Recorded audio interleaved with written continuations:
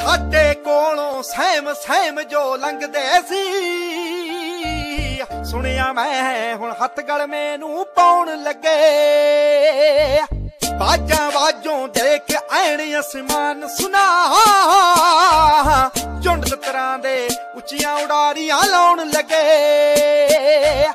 ਸੱਪਾਂ ਵਾਂਗੂ ਵੈਰੀ ਉਹ ਸਿਰ ਚੱਕਣ ਲੱਗੇ। ਭੋਰੇ ਸੀ ਜੋ ਜੁੱਤੀ ਵਾਲੀਆਂ ਨੋਕਾਂ ਨੇ। ਕੁਝ ਕੁ ਵਕਤ ਲਈ ਹੱਥਾਂ ਕੀ ਹਥਿਆਰ ਰੱਖੇ। ਦਬ ਗਿਆ ਜੱਟ ਵਾਈਮ ਪਾਲ ਲਿਆ ਲੋਕਾਂ ਨੇ। ਕੁਝ ਕੁ ਵਕਤ ਲਈ ਹੱਥਾਂ ਕੀ ਹਥਿਆਰ ਰੱਖੇ। ਦਬ ਗਿਆ ਜੱਟ ਵਾਈਮ ਪਾਲ ਲਿਆ ਲੋਕਾਂ ਕੁਝ ਵਕਤ ਲਈ ਹੱਥਾਂ ਕੀ ਹਥਿਆਰ ਰੱਖੇ? ਦਬ ਗਿਆ ਜੱਟ ਵਾਈਮ ਪਾਲ ਲਿਆ ਲੋਕਾਂ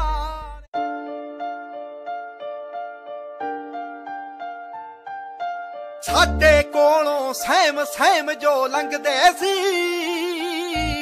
ਸੁਣਿਆ ਮੈਂ ਹੁਣ ਹੱਥ ਗਲ ਮੈਨੂੰ ਪਾਉਣ ਲੱਗੇ। ਬਾਜਾਂ ਬਾਜੋਂ ਦੇਖ ਐਣ ਅਸਮਾਨ ਸੁਨਾ ਉੱਚੀਆਂ ਉਡਾਰੀਆਂ ਲਾਉਣ ਲੱਗੇ। ਸੱਪਾਂ ਵਾਂਗੂ ਵੈਰੀ ਉਹ ਸਿਰ ਚੱਕਣ ਲੱਗੇ। ਭੋਰੇ ਸੀ ਜੋ ਜੁੱਤੀ ਵਾਲੀਆਂ ਨੋਕਾਂ ਨੇ। ਕੁਝ ਕੁ ਵਕਤ ਲਈ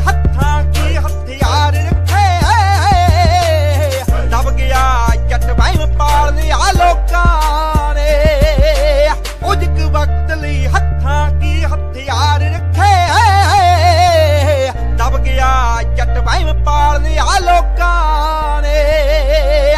ਕੁਝ ਕੁ ਵਕਤ ਲਈ ਹੱਥਾਂ ਕੀ ਹਥਿਆਰ ਰੱਖੇ